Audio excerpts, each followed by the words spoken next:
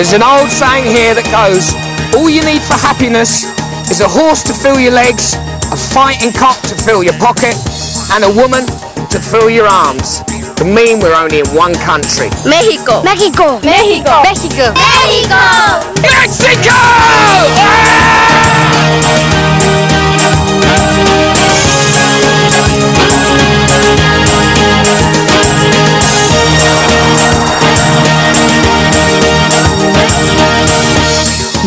covers over 760,000 square miles of Central America and contains over 100 million people. Its full name is the United Mexican States and it has 32 governmental regions. Most of the population live in the vast cities, including over 20 million in the capital, Mexico City. It's a country with miles of glorious coast to the east and west. It has dense tropical jungles, high arid deserts, and a rich culture and history that goes back thousands of years.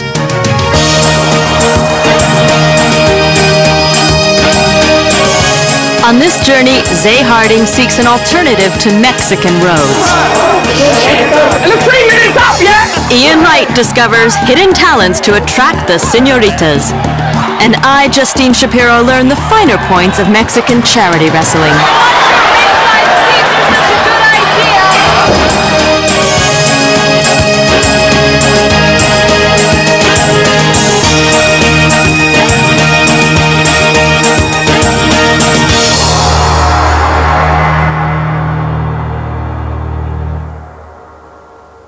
America might have been the New World to 15th century Spanish, but Mexico had sophisticated civilizations thousands of years before they arrived. Among them, the Olmecs, the Toltecs, the Maya, the Aztecs, and the unknown people who built one of the world's greatest cities, Teotihuacan. Teotihuacan reads like one of those great mystery stories. At the height of the civilization of Teotihuacan around 4 500 AD, over 200,000 people were living there, and it was one of the biggest, if not the biggest city in the whole world.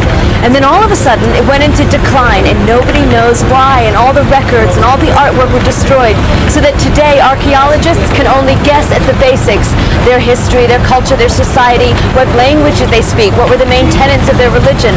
And when the Aztecs first saw Teotihuacan, they were so impressed with the place, even though it was in ruins, that they called it Teotihuacan, which means the place that men became gods.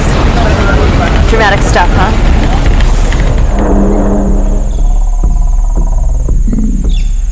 Despite being burned and sacked in the 7th century, Teotihuacan was still used as a sacred site by the Aztecs when the Spanish arrived in the 15th century. Quetzalcoatl, the feathered serpent. Tlaloc, the god of rain.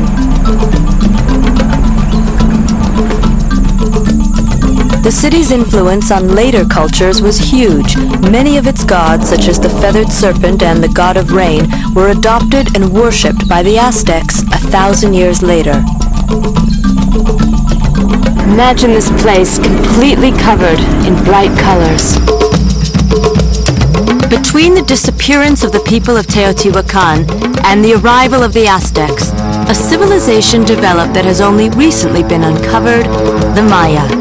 First appearing around 1500 BC in the Yucatan region, the Maya built great cities and temples, living by a strict social structure with a bloodthirsty approach to ball games. The game ended with a human sacrifice.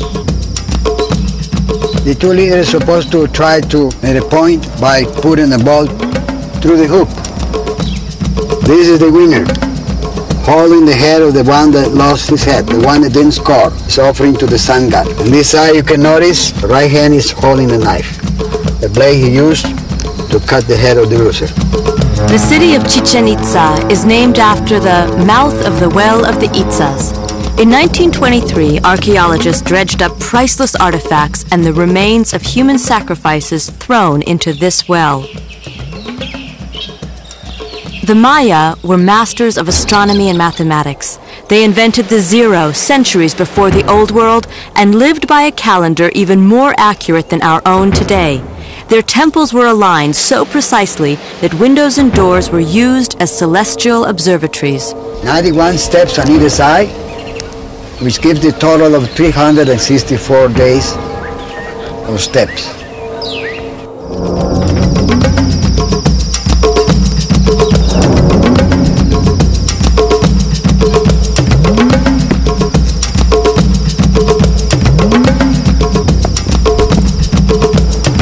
Ninety, ninety-one. When the Mayan Empire began to collapse around 900 AD, the jungle reclaimed many of its great cities, such as this one at Palenque. Hidden for centuries, the secrets of the Mayan beliefs and rituals are only now being uncovered. The Maya believed that the more noble you were, the more of your own blood you had to sacrifice. And they even went as far as putting pins in their tongues and their penises to get out the blood. And at one festival, they sacrificed 20,000 captives, ripping out the heart, holding it up to the sun, so the sun would rise every day and man would live.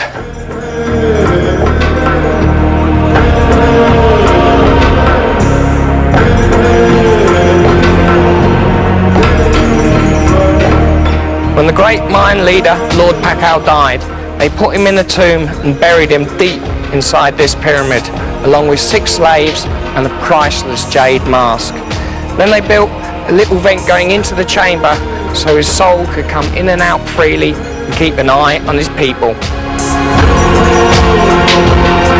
But his soul could not protect his empire, and by 1500 AD, the Mayan cities had been largely abandoned and their people scattered across the Yucatan Peninsula.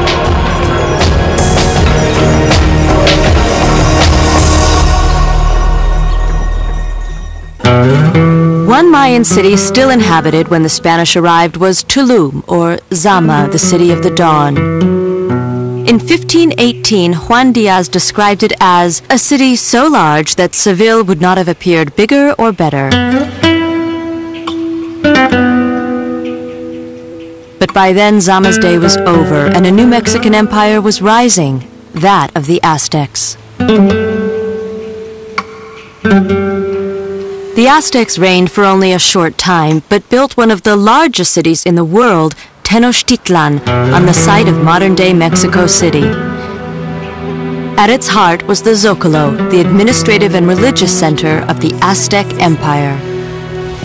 And is this what the Zocalo is today? It's the same place, it's just like they all put the pyramids down and destroy everything. So the colonialists destroyed all these buildings and put and the church over them.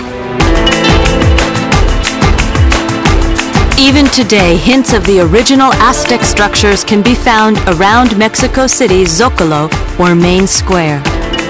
This was the actual waterway which led right to the Zocalo, which is at the corner. So the water the came straight to the Zocalo. The whole city was full of canals, right? Right. Here's the Zocalo um, which is the main square of the city. I mean, in a lot of ways, it's like the heart of, of, of Mexico. And before it was pyramids, and now it's all this colonial architecture. This is a serpent head piece of sculpture off of the pyramid that has been taken in place as the cornerstone for this entire structure. This is Aztec? Yes. This is original? This is original. Wow. But the dominant architecture of today's Zocalo is Spanish, an influence that goes back to 1519 when Hernan Cortez landed on the Pacific coast near Acapulco. The Spanish invaders were known as the conquistadores. 400 of them landed here in Mexico to conquer tens and thousands of Aztec warriors. Hernan Cortez was their leader. He was 19, but he was ruthless and the first thing he did is order his men to burn all the ships so there was no returning home. It was either conquer or die.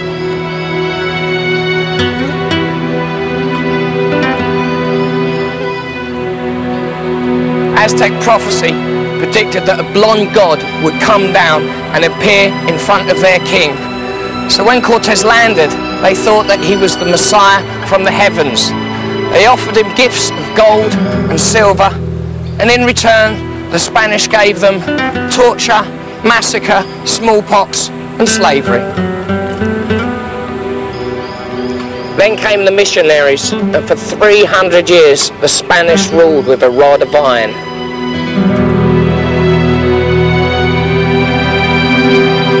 Priests, supported by the army, had an unofficial policy of convert or die.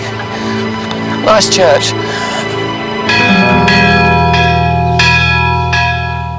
This is the mission at San Ignacio, which was partly funded by the Queen of Spain. It had quite a high rate of conversion, but locals say that underneath there's a tunnel that leads straight to the cemetery, and if you didn't pray and get on your knees inside, that's where you'd end up. Cortez conquistadores also brought 16 horses, the first in the Americas, regarded by the Aztecs as strange deer or stags. But it didn't take long for the locals to embrace the ultimate beast of burden. Half of Mexico is cattle country, and it's home to the charros, which is the Mexican cowboy.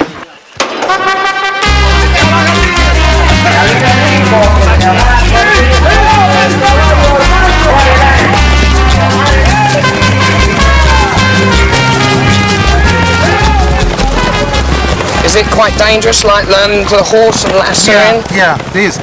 You can cut your fingers with the rope. Wow. Is this what happens yeah. to your finger? Yeah, yeah, with the rope. uh, It, The thumb. It goes like that and takes your finger away. Really? Yeah. yeah, yeah, yeah. You didn't fight, no? I, I try to I try to put it back. Yeah? Yeah, uh, surgeon. Yeah, right. But uh, it dies, you know. Yeah. Yeah. Many people Yeah. have that problem.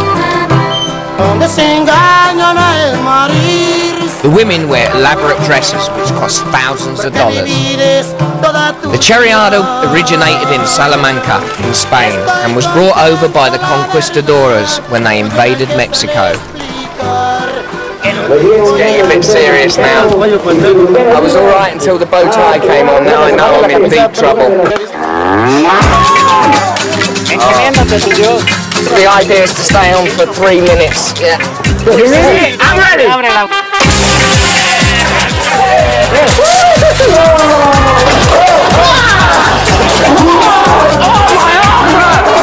And the three minutes up, yeah?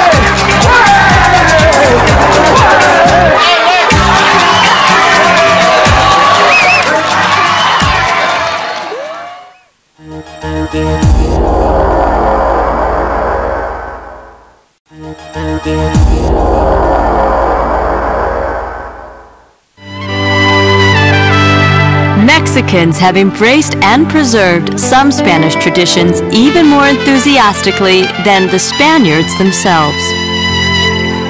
No, no, gracias. Bullfighting isn't for everyone, and I'm not sure it's for me. This is my first time, but how could I resist? The largest bullfighting ring in the world is here in Mexico City. It holds 60,000 people, and the whole thing is really intriguing. Primitive bullfighting started 2,000 years before Christ in ancient Greece, and the sport is just as dangerous it was when the Pope tried to ban it in the 16th century. In the last 250 years, half of the greatest matadors in the world have been killed in the ring. I wonder what's going to happen today. Is that a very good matador? Ole! Ole! What does ole mean? Olim. That's a good one. Um, I know it's Arab. It's an Arab word. Yeah, but I don't know exactly what it means. Do you know what ole means? no. No, no. Do you know what ole means? I'm not sure. No, no.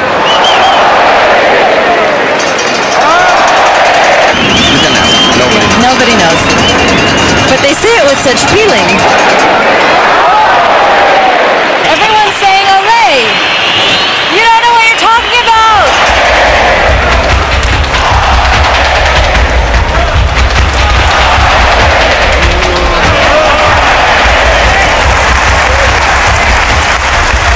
It seems as though cheating death is a vital part of the Mexican passion for life.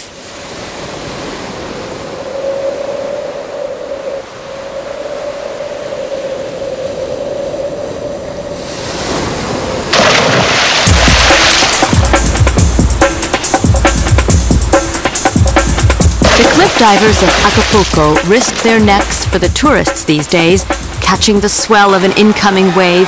It's an old fisherman's dare, and injuries are frequent. I heard that it brings out the ladies. Do the ladies love a diver? Yes. They, they think we are Superman or something like that. You are. Yes. Anyone that does that is Superman.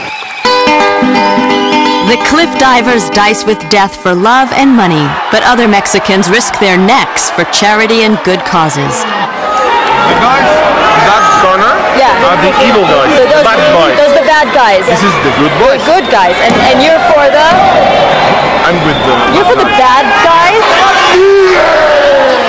Some of these wrestlers have used their popularity to become political figures and social campaigners. Best known are Super Barrio, who struggles for fair rents and decent housing, and Super Ecologista, who campaigns for environmental issues.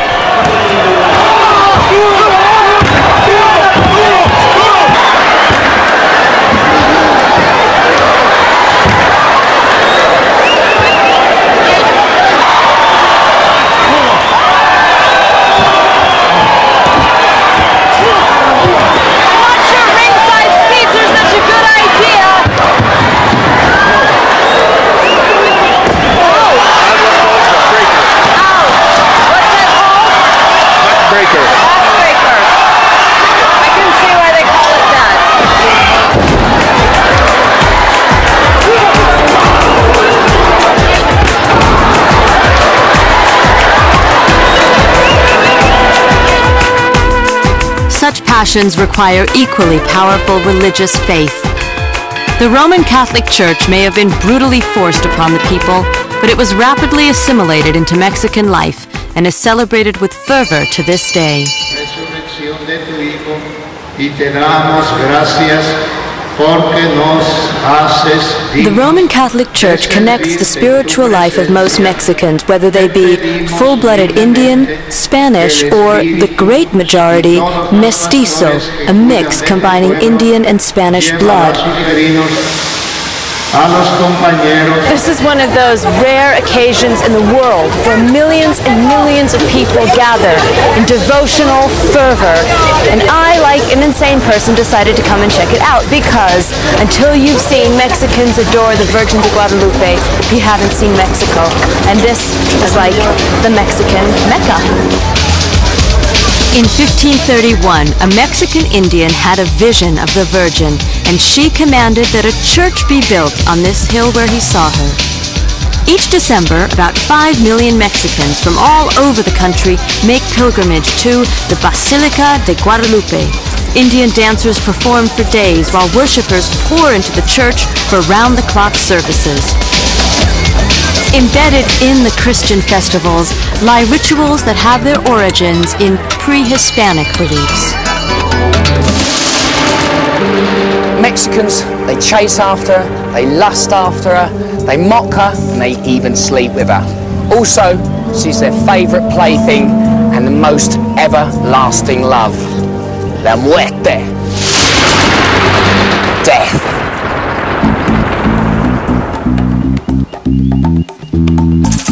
Every year on the 1st of November, Mexico celebrates the Day of the Dead, a ritual with roots deep in a pagan past.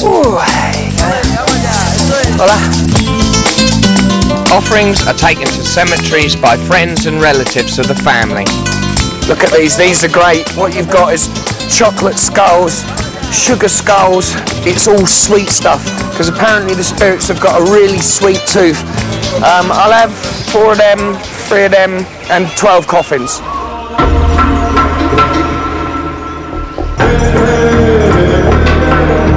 The Day of the Dead is strongly observed in Pátzcuaro with its large Indian population. I'm on my way to the island of La Pacanda to visit the cemetery with one of the families. Hola, ¿cómo está? How you doing? Oh, oh ah. Ese es tu nombre. Is that got my name? Look. Oh no, I've got a skull with my name on already. Ooh. So when does the actual celebration start today? At midnight, the souls of the dead come into the cemetery.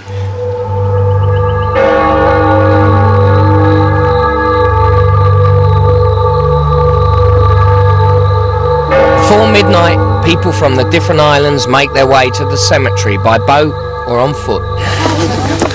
This is it. We're making our way to the cemetery now with all the goodies. We're about half an hour late, so I hope the spirits are going to like hang around. Wow, this is the entrance, yeah? Yeah.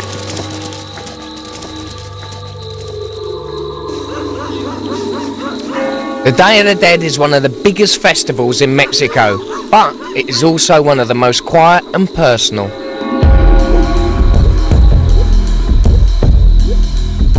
Families sit by the graves with their ancestors all through the night, eating and praying.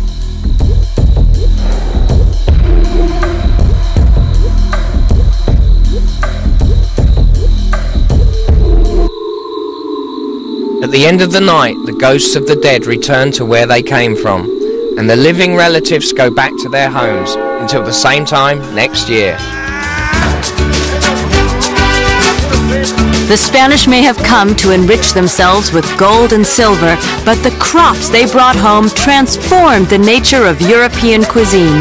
There's been a market in this spot ever since the time of the Aztecs, and when the Spanish came 500 years ago, they discovered things growing here in the New World that no one had ever seen before in Europe. Basic things like the potato, tomatoes, corn, all different kinds of beans, tobacco, avocados. And walking around this market, you can feel a little bit like one of those early European explorers because there are things here that I have never seen before. Every town has at least one market or mercado. This is La Merced in Mexico City. I knew when I came to Mexico that I would see the chili, but I never expected to see such a variety. Mexicans can't live without chilies, and they know which ones will make your eyes water and your mouth feel like it's on fire. Ask before you bite. How many chilies are there? ¿Cuántos variedades? No, hay como 150 variedades de chile. 150 different kinds of chilies. Mexican ingredients have influenced food the world over. Where would Italian food be without tomatoes, peppers, or maize? Beans, too, were discovered as a staple in the Aztec diet, and chocolate was a luxury drink consumed by Aztec King Montezuma to enhance his libido. There are conflicting stories about the introduction of the domestic chicken to America, but Mexicans love their eggs for breakfast. The Spanish also brought crops that remain vital to the Mexican economy and culture, including rice, olives, citrus fruits, cheese, beef, and coffee. Gorditas. Gorditas. Gorditas. These are gorditas. They're made of corn.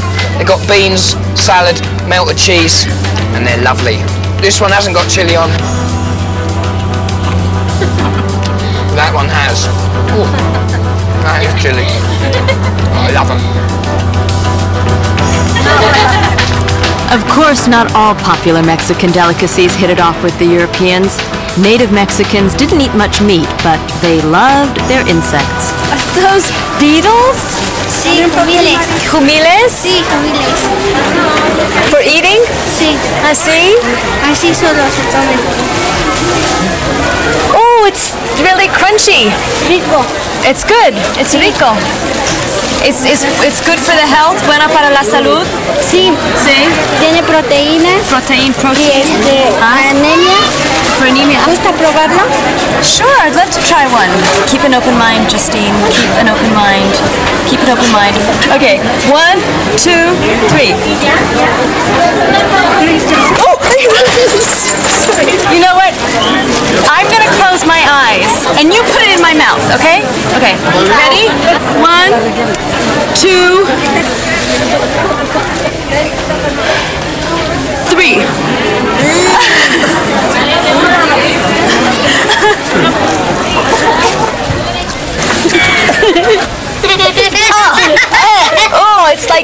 like chemicals. Ah, I just ate a beetle. I just can't believe I ate a beetle. Perhaps more enjoyable is Mexico's multi-purpose flatbread, the tortilla. Right, Mexican food can be a little bit confusing, so I've got Mia here to take me through it. But this is what I do know, like tortilla, yeah, This is the basis of all Mexican food. You get like that. If you chuck lots of stuff in it, fold it over, then it becomes this, which is uh, enchilada. Then if you roll it again really delicately like that and fry it, it becomes a taco. Yeah. And then if you tuck the ends in when no one's watching, it becomes a burrito like that.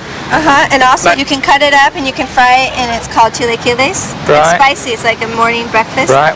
Or you can have this for quesadilla. It's a bigger Quesadilla? tortilla, and you fold it with cheese and avocado and all that stuff. And there's also this too. They use this for to make clayudas, and they put beans and cheese, and they stick it on the comal. But that's just like It's a Mexican a pizza. beach frisbee, no? There you go. Hey. sorry, sorry about that. It's just. Can I have that back? So out of order. So just remember, it's not a toy. It's something to eat. Yeah. Mexico's contributions to drinking, tequila, and its near cousin, mezcal, both have their origins in cactus like blue agave plants of the Mexican desert, and mile upon mile of arid Mexican farmland are dedicated to the production of hard liquor. And just to prove its high octane, mezcal often contains a preserved blue agave worm in the bottle. Mmm, mmm, mmm. How you say it? Lick- lick your hand. Lick your hand. Yeah, salt. Salt. Put Sprinkle the salt. Lick the salt. Uh-huh. Then you you take a, a lemon mm-hmm. and squeeze in your mouth mm-hmm. all. Mm. Take your caballito. Mm-hmm. Mm. Cheers. And in just one shot, drink all the tequila.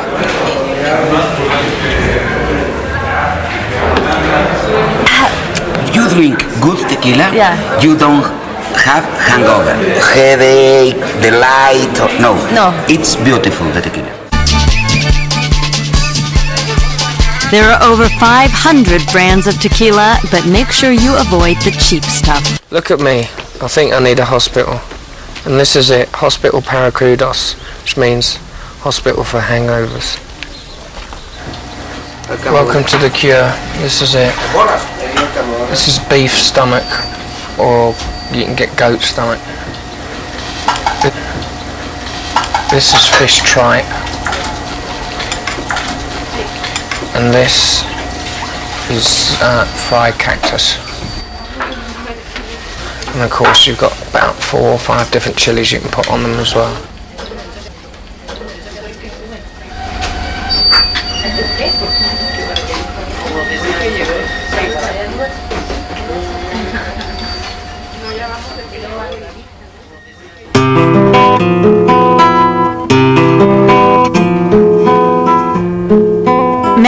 Artistry also encompasses traditional Spanish crafts, such as guitar making, glass blowing,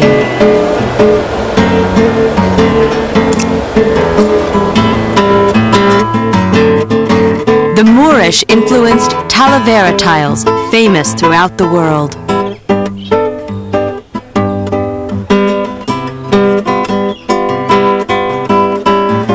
and pottery, which blends Spanish and native Mexican styles.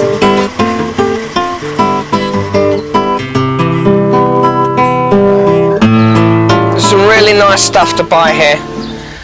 You wrap it up, newspaper, put it inside, maybe in a jacket or something, put it in your rucksack. When you get home, it's in a thousand pieces. Mexico is a trinket shopper's paradise. Prices are low, there are markets everywhere, and the ingenuity of Mexican artisans is legendary.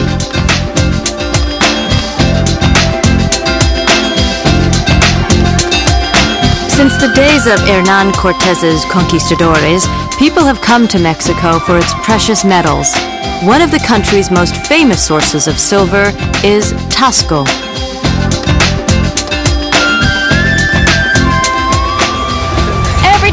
Mexico has its Zocalo where people gather, socialize, where they celebrate national holidays, fiestas. And this weekend I'm lucky enough to be here for the annual Silver Fair. Shopping.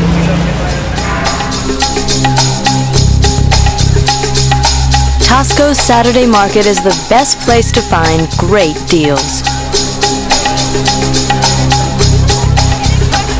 Just a silver paradise. There's everything here earrings, necklaces, bracelets, baby rattles, barrettes, little silver boxes, funky things, conservative things, ethnic things, ravings, religious things, tacky things, things with stones, things with written things on them. If you want silver, come to Taxco. And if you can't find what you want, have it made. Okay, I think I found the place. I, I want earrings. Aretes. E- earrings, yes. Mm-hmm. And I can't find them anywhere. Okay. And I have a drawing of, of what I want, and they said that you can make this. It's just it's simple. It's just a heart with Con alas. alas, Sí. wings. Yes. Okay. It's- is it true, verdad? You can make. Sí. Usted puede hacerlo. Claro. How much does it cost? 15 dólares te van a costar. Fifteen dollars. Sí. To make earrings. Sí, sus alas. Incre- to make the, these earrings, it only costs fifteen dollars. Custom design. Sí. Increíble. Perfecto, sí. I would like Okay. that. Decorative metalworking is part of the ancient traditions of Mexico and Spain. Cortez claimed silver mining rights to Taxco, 100 miles south of Mexico City, and Taxco's silver became famous across Europe. Taxco remained a mining center on and off from then on. But it wasn't until the 1930s that an American businessman called William Spratling encouraged the artisanal talents of Taxco citizens and gave the city its reputation for making silver jewelry. That's beautiful. They're perfect. And they're so light, so delicate. Qué bueno. Sí. Que le gustara. Sí. Well, they're much prettier in silver than they are on paper.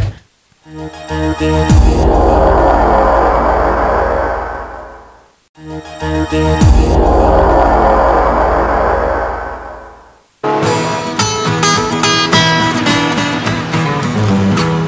hour drive from Acapulco, you cross into the state of Oaxaca. Puerto Escondido is one of the top 10 surfing locations in the world. And every year in November, they hold international surfing championships. I saw you out there. I thought you looked good, man. Oh, when I see you doing your little moves. My racing days are over. Is this a good competition for people to come to? Yeah, it really is. The, the wave here is, is a real quality wave, and uh, it's got some real power. Uh, tube riding is what you want to do, and that's the amazing thing about this place. It has power, and it throws consistent tubes, which a lot of beaches don't do. Right. Tube riding is the maximum art of surfing.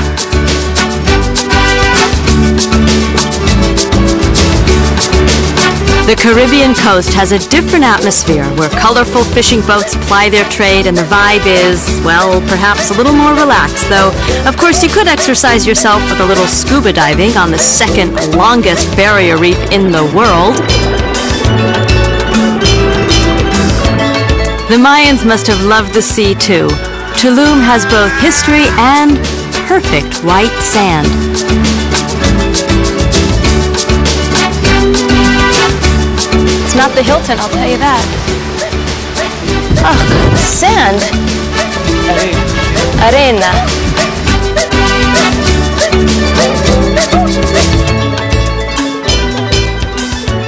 The best part of this whole room is the carpet. My little sandy carpet. Little traveler's tip. Create a little mosquito death poison barrier. On the other side of the country, you can escape north to the beautiful Baja Peninsula. Here it's possible to experience the sea life close up, either kayaking or taking a licensed boat to see the whales gathering in the Laguna San Ignacio. Baby one.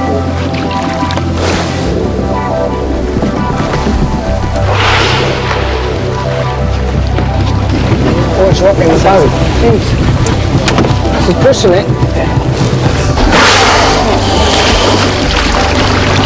I think it's underneath at the moment.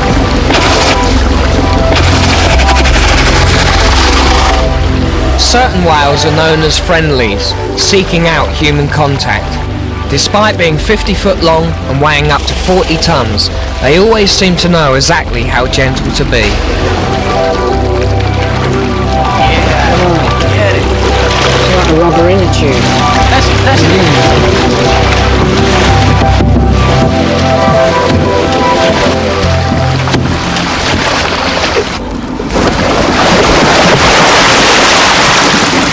I think I need to change my trousers.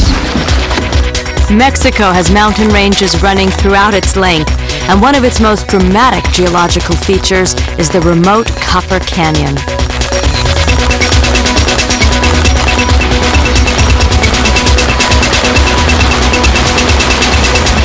Reached via the romantic Chihuahua Pacific Railroad, the Copper Canyon is part of the Sierra Madre Occidental mountain range.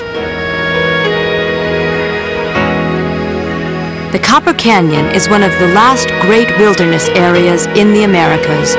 Four times the size of the Grand Canyon and one and a half times as deep, dropping to 10,000 feet from the surrounding plateau.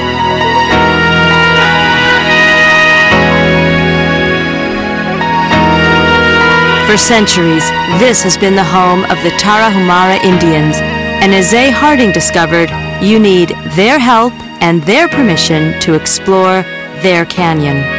This is Jesus, a local guide who knows these hills better than anyone on earth. Along with Skip, we're going to take a hiking trip deep into an unexplored canyon.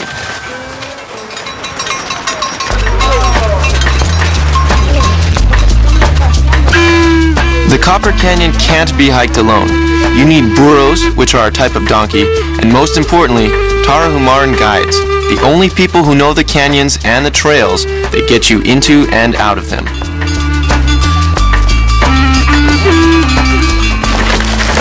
Skip, why are we carrying live chickens with us? It's easier to carry live chickens than dead chickens in a refrigerator. So they don't keep well out there? No, not in this heat.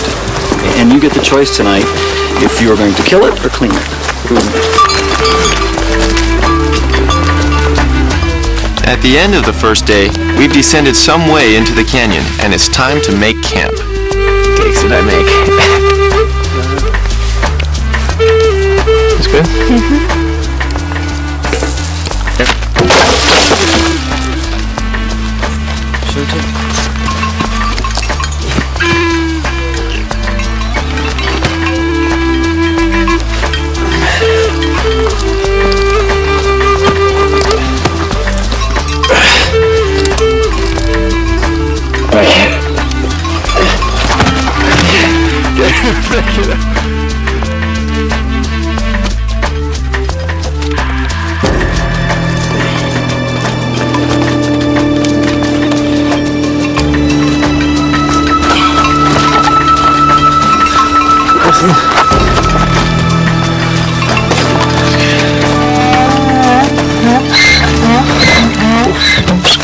I began to wish I'd offered to clean the chicken rather than kill it.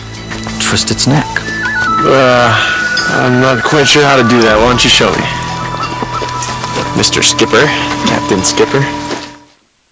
Deeper into the jungle at Palenque and Yaxchilan, it's possible to step back over a thousand years into pre-Hispanic Mexico. The Lacandon Indians are the direct descendants of the Maya from Palenque. That's why they call themselves the Hach Winik, which means the true people. They live on the riverbanks deep inside the jungle, and nobody came in contact with them until 50 years ago. And as I'm meant to be staying there, I just hope that I can find them.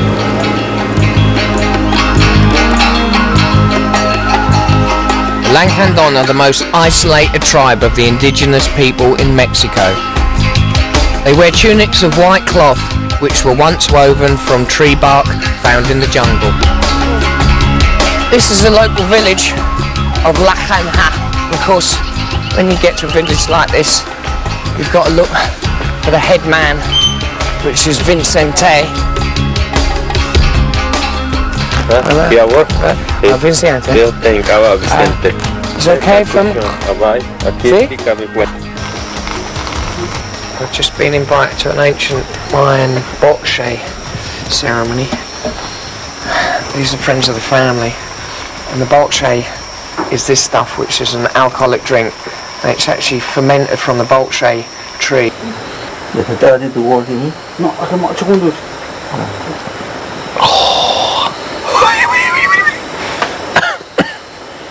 That's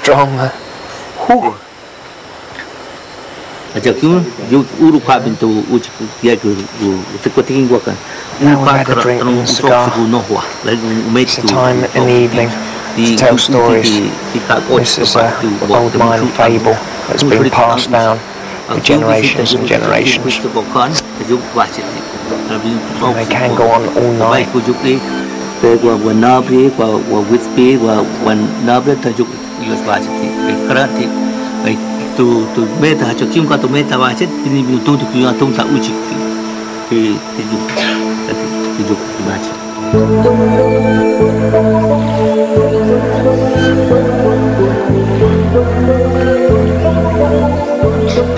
Well, I've been invited to go further down the river to meet the rest of the family. We're meeting them at sacred ruins of Yaxchilan. And I need the guides because apparently it's hidden deep inside the jungle. The ruins lie on the Usumacinta River, which separates Mexico and Guatemala.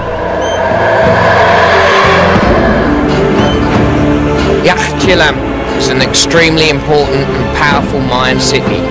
This is the temple of worship.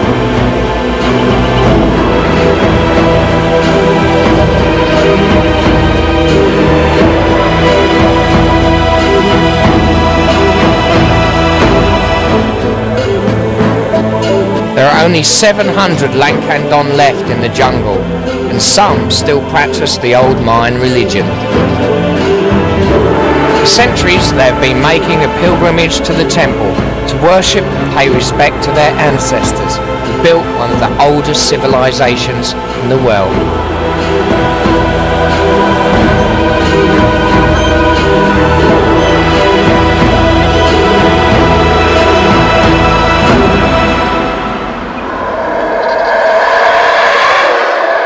There's an old Mexican saying that goes, people here don't really say goodbye. And it's even the same with the Maya, because they built these incredible temples so they'd last for all eternity, because they believed that somehow one day they'd return. And that's how it is here. Save your air miles, because once you've been to Mexico, you will want to come back.